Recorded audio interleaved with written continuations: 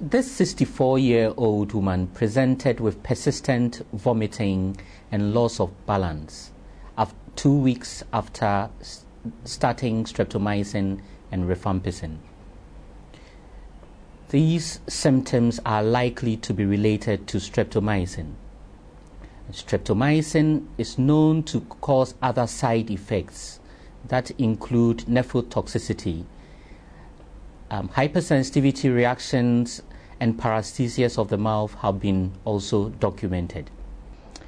Side effects of streptomycin are commoner in the elderly and they are dose related.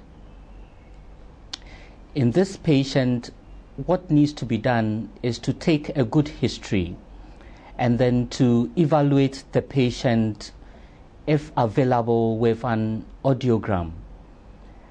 Um, when it's not available, um, you may count on the history and your examination findings.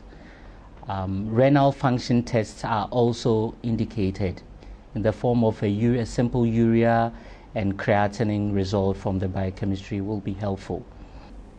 Rifampicin cannot be left on its own because of development of resistant strains.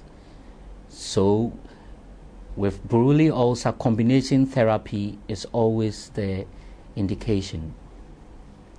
Other potential options of treatment include clarithromycin and moxifloxacin, which could be an option when patients develop side effects.